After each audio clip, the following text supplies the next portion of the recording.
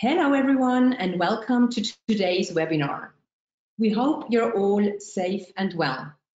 Before we start our webinar, we feel it's important to acknowledge what we're going through this moment. It's a moment, um, sorry, through a moment of pain right now with grief, protests, anger, chaos and criminality all clashing. Although we are Swiss and continuously try to educate ourselves on this matter, we may never completely understand the complexities. However, we remain hopeful that things will get better on all aspects and that today we can bring some positive vibes to you with our webinar. While many states and provinces have reopened, we're still on home office here in New York City. I'm sure you're all eager to soon make travel plans again, be it personally or professionally. So we'd like to update you on the current situation in Switzerland. Switzerland has completed its three-stage phase reopening within the country. In addition, the borders to Germany, France, Austria and Liechtenstein open on June 15th.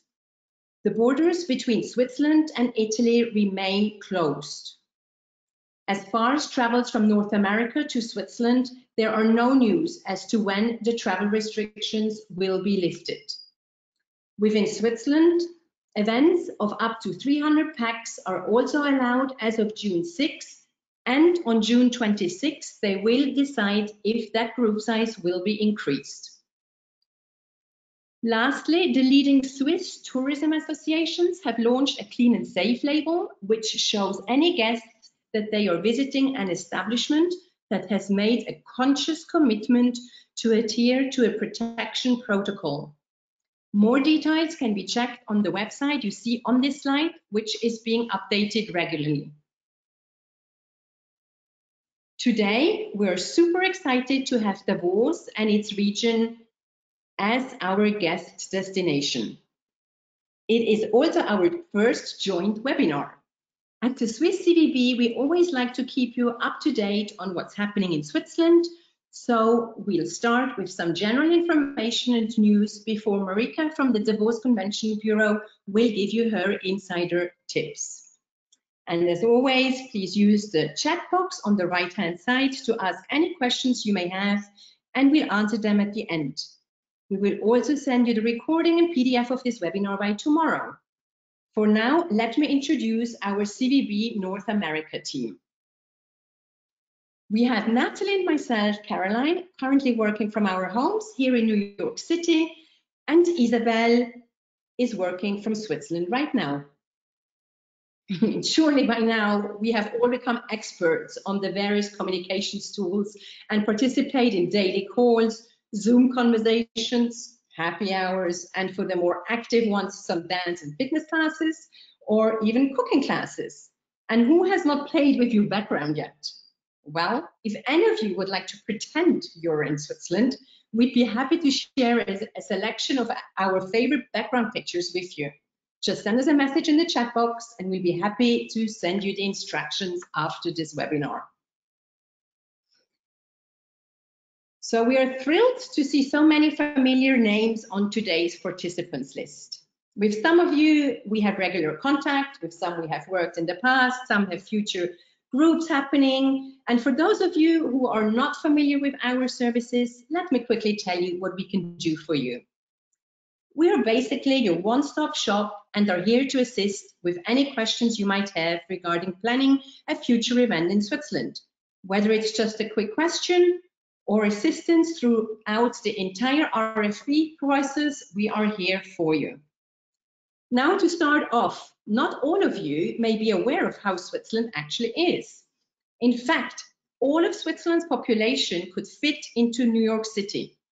And we will now illustrate the geographical size difference so you can see just how tiny our country is and what that means for your group in terms of diversity.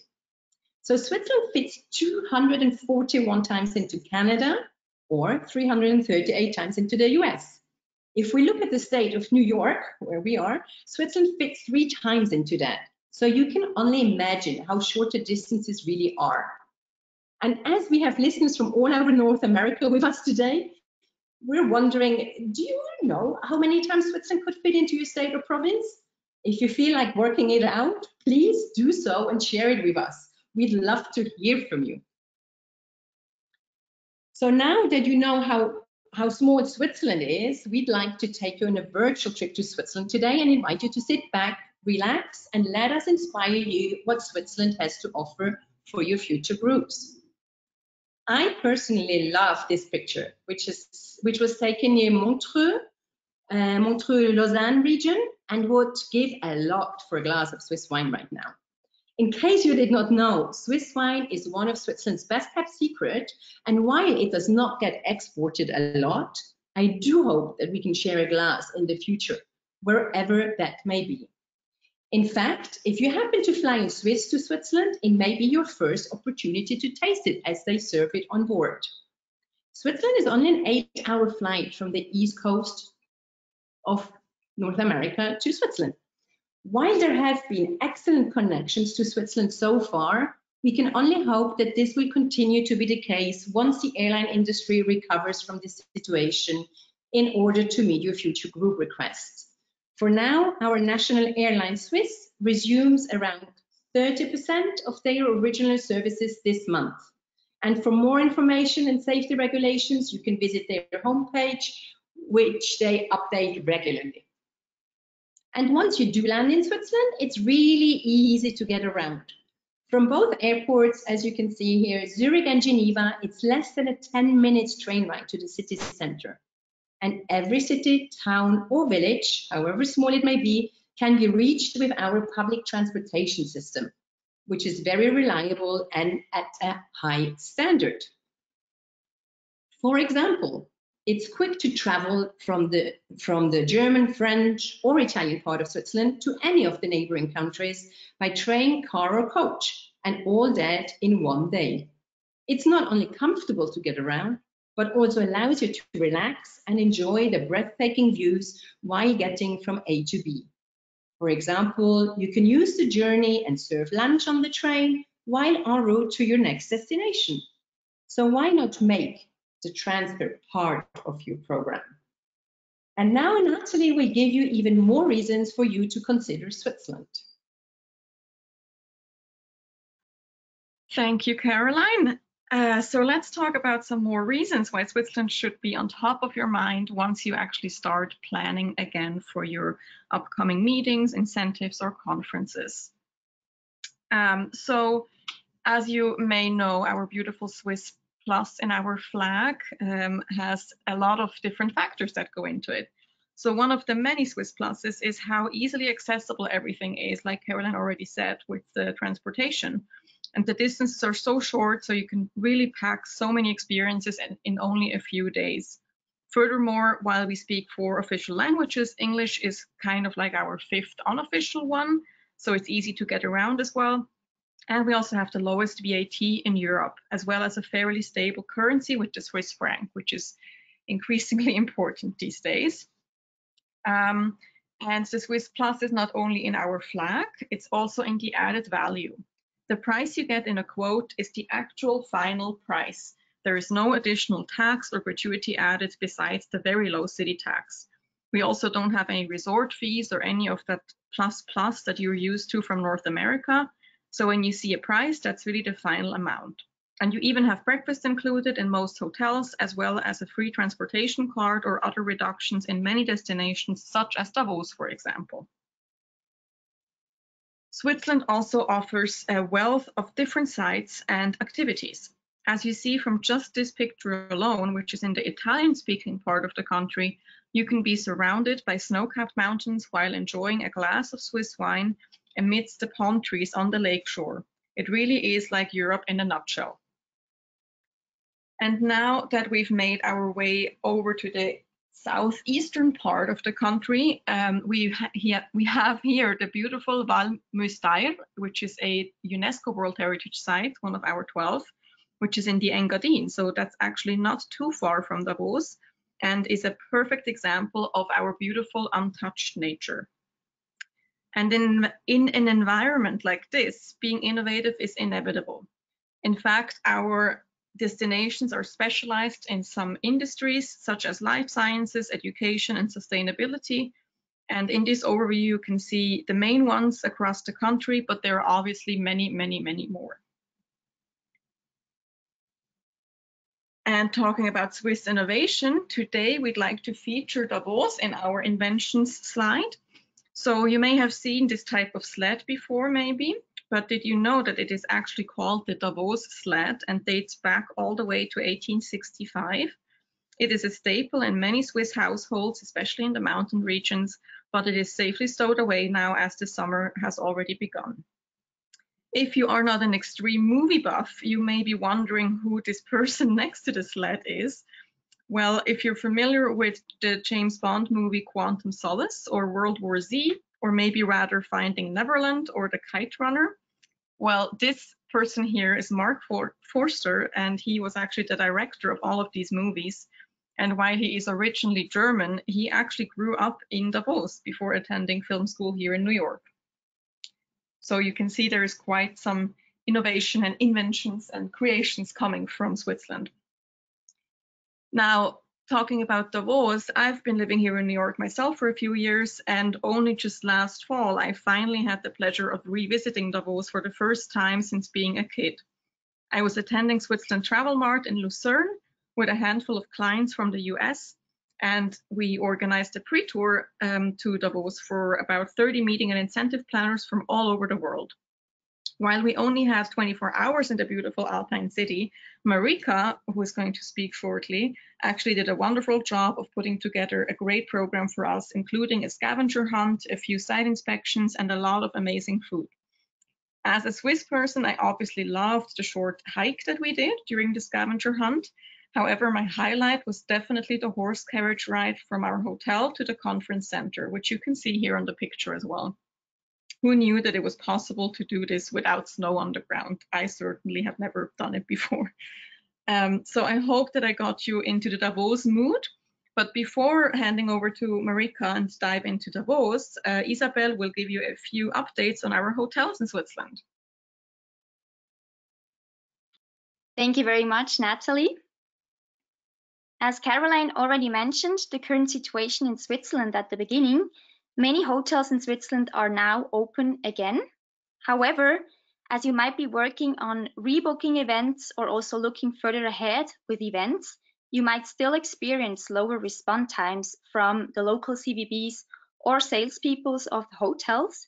So if this should be the case, don't hesitate to reach out to us as we are in close contact with them and can always help you there. Now I would like to share with you two major news from the hotel industry in Switzerland. First of all, in Basel, they are currently building a new Mövenpick five-star hotel, which is located a few minutes away from the train station and right in the city center of Basel, where the old Hilton used to be. It has 264 rooms, meeting and event space for up to 600 people with a ballroom, a conference hall, and 17 meeting rooms. The hotel offers super modern comfort, a restaurant, a fitness and wellness center, as well as spectacular views of the city. The Mövenpick Hotel was supposed to open in spring 2020, but has recently postponed the opening to fall 2020. And a specific date has not been announced yet. Traveling from Basel to the Zurich area, you might have heard of this project already. At Zurich Airport, they are currently building the Circle, which includes a convention center and two hotels, as well as many more businesses and shops located right by the airport. The main convention hall of the convention center offers space for up to 1,500 guests seated in theater style. The two hotels are both managed by Hyatt. They are called the Hyatt Regency and Hyatt Place, and they offer a total of 550 rooms, which make them combined the largest hotel in Switzerland. Due to COVID-19, the construction work has slowed down, which is why the opening of the circle is currently postponed to November 2020. This applies to the convention center as well as the Hyatt Regency. The Hyatt Place is scheduled to open in December 2020 as planned, and but we will keep you posted if uh, anything should change. So that was it from my side. I happily hand back to Caroline now. Thank you, Isabel. And before we continue, let me show you again on the map where we are traveling to now. This gives me the opportunity to introduce you to Marika, who's the head of the business sales at the Davos Convention Bureau based in Davos. Hello, everybody from Switzerland. First of all, let me tell you, my heart is with you after seeing all these devastating pictures um, the last few days. I was indeed in New York just uh, end of February, beginning of March, and, and it breaks my heart to see what's happening. Anyway, um, some of you I know have already been to Davos, and I see that uh, some of the attendees even spent some vacation in Davos, so they know everything about it. For all the other ones, um, I think you might know the destination from um, from the World Economic Forum. So I guess you heard about the World Economic Forum, which takes place since 50 years in our destination, actually in the Congress Hall, which you see on this slide. And um, I'm very happy to answer you some questions about it, but I want to tell you a little bit about the place. So who are we? Um, we have a specific role because in, in one person we represent the Convention Bureau, but we are also representing the Congress Center. So it's myself and Sabrina in home office, as most of you. Obviously, we offer you all the services which you can expect from a Convention Bureau Specifically, um, you will get an offer from us in 24 hours for all your direct bookings. And we support you with any questions, any wishes, any needs you have. Um, talking about Davos, how far away are we from the next airport? So the next airport is indeed Zurich Airport, which you heard about already. Um, it's 96 miles um, uh, distance and basically either two hours by car or two hours 50 by train to reach us. the destination consists actually of a little village and a town. So first thing you will reach if you come from the airport is the village Klosters, which has not even 4,000 people living there.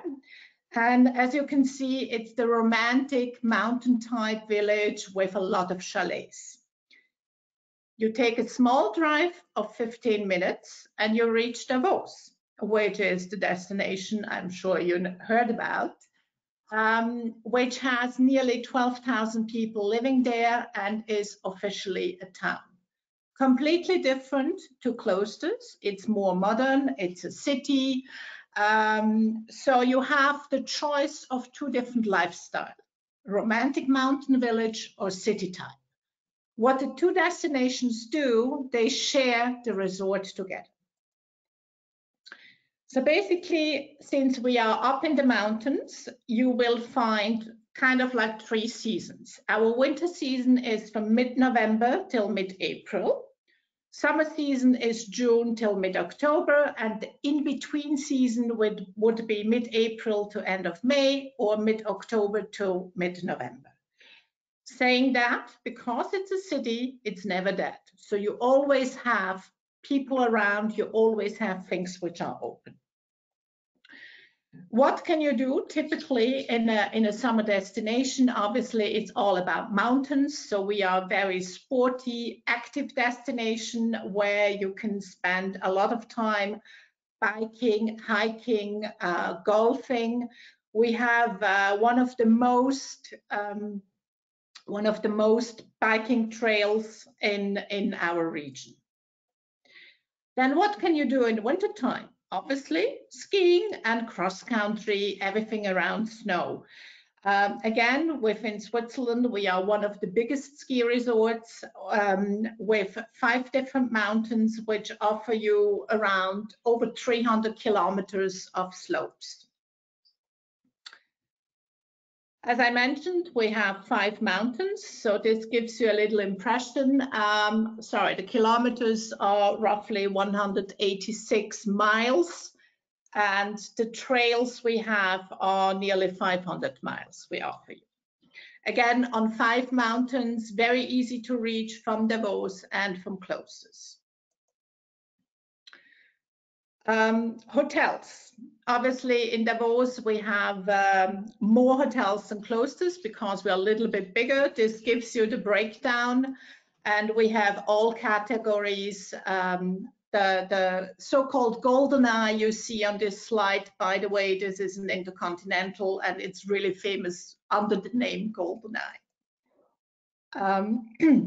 Klosters is a little bit smaller, and as you can see on this slide, it's, it's really the romantic mountain village with chalet type of hotels, again, in all kind of categories. In addition to that, what we do is Convention Bureau, we are representing 16 seminar hotels within Davos and Klosters. They are all specialized in, in uh, meetings and seminars, um, and we are very happy to make you an offer for all of them if you have a request or to help you who to choose. Now, if we talk about the distances, um, you've seen how small Switzerland indeed is. So if we talk about Davos, this red thing on the map is the Congress Center. And basically, all hotels in Davos are in walking distance from the Congress Center saying that, that's exactly what's happening during the World Economic Forum. So you see all the top shots, all the leaders, instead of sitting in their limousines, in fact, walking to the Congress Center and having very nice meetings during their walk. this is how the Congress Center looks like from the outside. Basically, we can um, have it, a total of 5,000 people. Uh, it's three independent buildings which can be run independently. The biggest room has a capacity of 1,800 people. Um, saying that that's not with the current uh, COVID-19 measurements. Obviously, then it's a little bit less, as you can imagine. And I'm very proud to announce that since 1st of June, we are the first climate neutral Congress Center in Switzerland. We work together with an organization called myclimate, and we support um, having clean water in Africa. The whole destination is already uh, climate neutral since last October, but we are really the first Congress Center. So in case you plan a Congress, you can have it climate neutral with us as of two days ago. I just want to give you briefly some impressions about the Congress Center. Um, this picture, by the way, is the famous hall where all the main speeches uh, during the World Economic Forum are held, and this is also a biggest hall.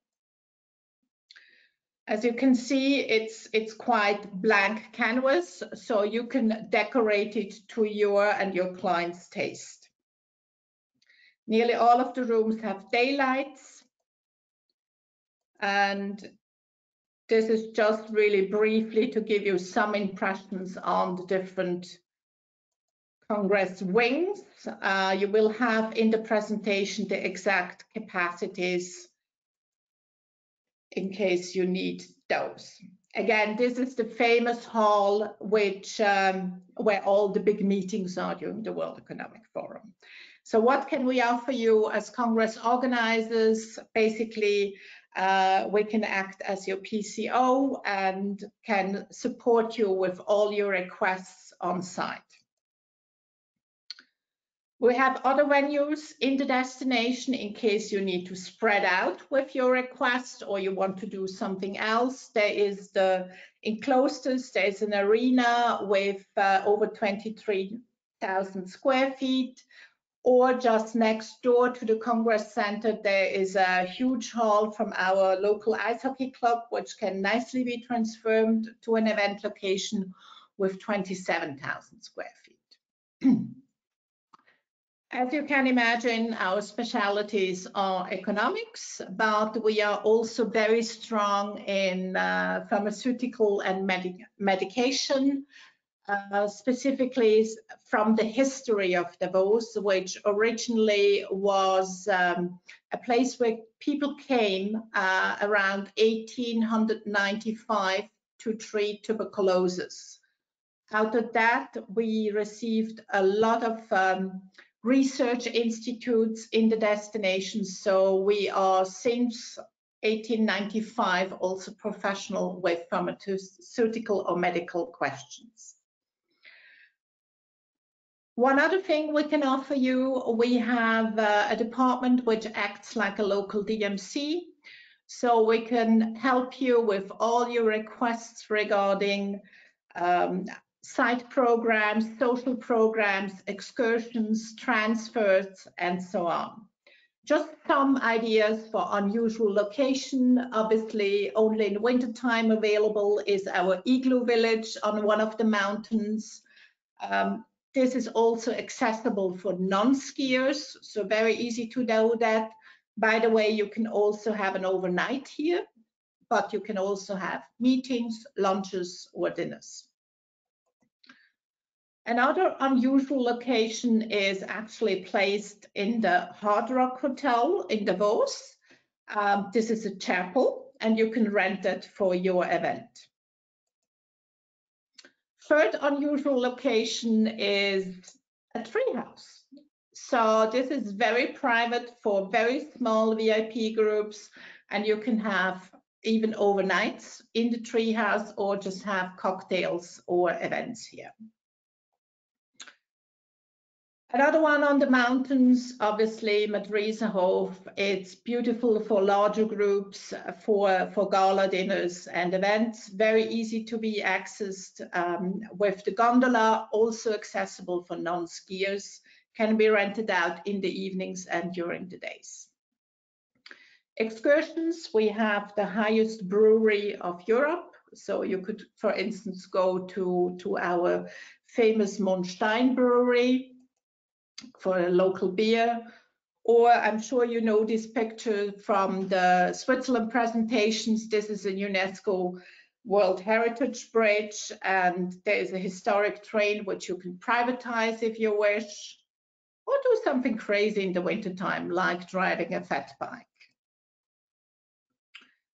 Uh, Natalie mentioned the horse carriage ride, so obviously that can be done in summertime and in wintertime.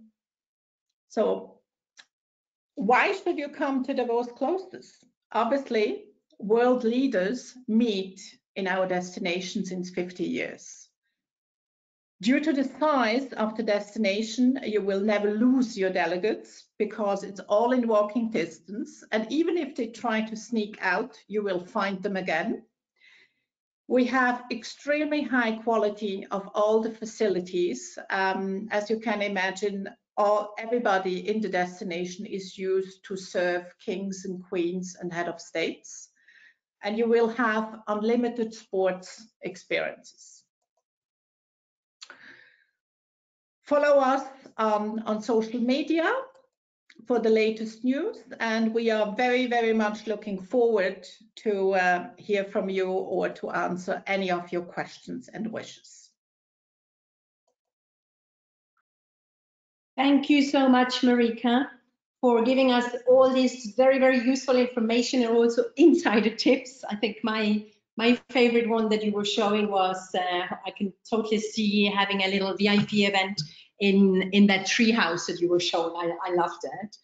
And uh, also congratulations to the Climate Neutral Congress Center. Super exciting news and Switzerland in general is a very, very sustainable destination. And you will hear us talking about that more and more in the upcoming webinars too. So now we would um, like to show you that we also have wild animals. And these ones are actually home to the eastern part of, the, of Switzerland where the Davos is. And as you can see, they are very, very photogenic. And did you actually know that the alpine ibex tend to live in a steep, rough terrain near the snow line? And they are also very social, although, ad, although the adult males and females segregate for most of the year, and they only come together to mate. I thought that was quite interesting. and um, while Isabel is now checking for any questions in the chat box, I'm happy to share our contact details summarized. So let's stay in touch virtually until we can hopefully meet somewhere soon again in person. So um, Isabel, have you had a chance to look if there's any questions in the chat box? Yes, I had. And actually, right now, I don't see any questions. So, but if you have any questions, like also after the webinar, you can always send us an email, of course, and we will be happy to uh, get back to you. So nothing in the chat box yet. Thank you. So yeah, we would love to hear from you. I mean, share with us how you're doing, what you're up to. Let us know how we, as the Swiss CVB, and also Marika in Davos, as the destination, your local contact, can assist you during these very uncertain times. We're all in this together, so let's try and help each other out as much as we can. And if you like today's webinar and would like to listen to more, we're happy to announce that we have a few more coming up for this year. And um, if you did not like the webinar, then we'd love to hear. And if you'd like us to cover anything else in future, again, do let us know. So before ending this webinar, we'd like to share some personal experiences. You've heard us talking a lot about food. So while both Natalie and myself are having cravings for Swiss food, such a delicious raclette, which hopefully some of you have tasted in the past. It's usually a very social gathering, but we both found a way to still enjoy it in our homes during the social distancing in New York. And Isabelle is longing to come back to New York and has ventured out on a New York recipe. Those rhubarb and raspberry pies look just delicious, don't they? So should we have managed to whet your appetite and you would like any Swiss recipes or share some of your favorite ones, we'd love to hear from you and experiment together. For now, from the Swiss CVB and on behalf of our partners, we wish you and your loved ones good health and stay safe. Thank you all for taking the time to join us today, and we hope you learned something new about Switzerland and Davos. And if we can be of any assistance to you, don't hesitate to reach out. We want nothing more than for this all to be over and for us to get together again and share our stories of how we got through this. For now, let's look forward to future events that we can plan together, hopefully soon. Thank you all. Please stay safe, healthy, and positive. And here comes a big Swiss hug from the four of us. Bye-bye.